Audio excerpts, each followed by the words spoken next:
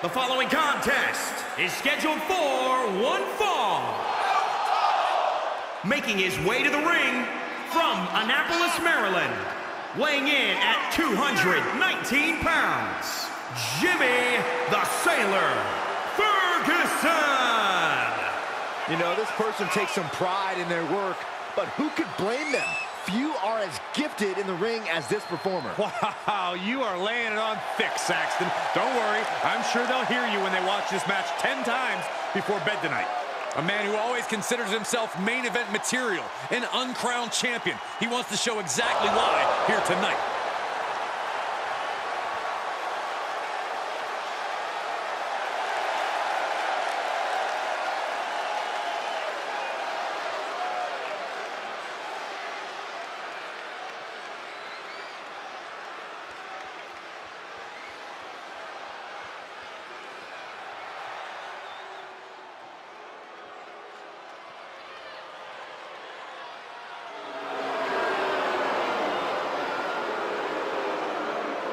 Get ready for a showcase of reasons why everyone should follow the way.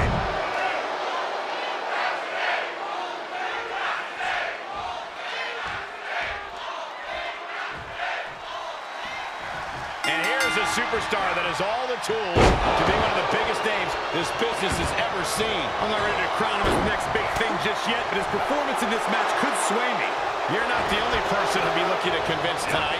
I'll have a tough time tonight because Austin Theory is like someone made a superstar in a laboratory. His stats are maxed and he's as hungry as it gets. Theory may be young, but he is literally built for success. Uh, Theory's age is the biggest mark for and against him. Thus far, his natural abilities have won out. We'll see if they do again here tonight.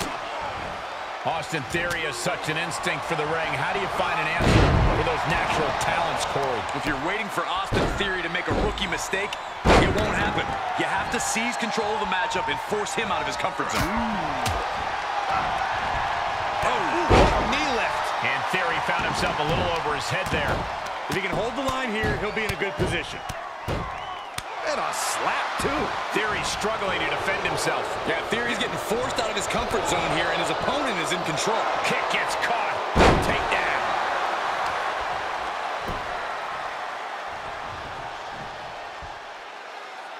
Leg trapped. Looking for the heel hook stretch. I don't like the look in his eye here, folks. From the top. Elbow drop. Good lord. No, oh, that'll break his arm. Vicious.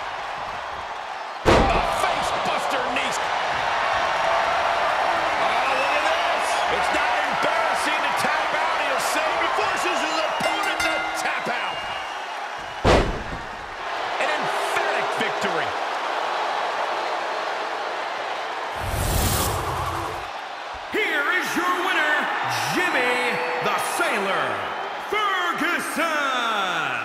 No other way to put it, guys. That was kind of a butt kicking.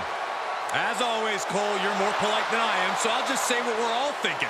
This was as one-sided as it gets.